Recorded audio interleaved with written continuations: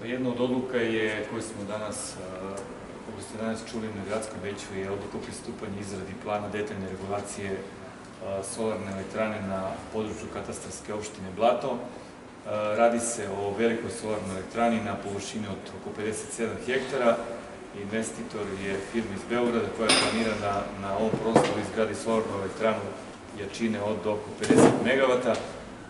Znači, ovo je šesta odluka o pristupanju plan, plana detaljne regulacije, znači šesta potencijalna lokacija za izgradnju solarne elektrane. Do sada smo doneli pet planova.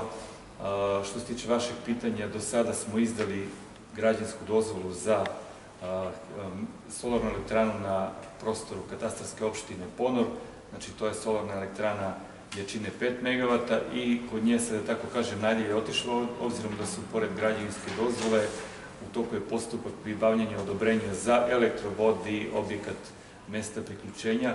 Kod ostalih planova je uglavnom u toku procedura izrade planskog dokumenta.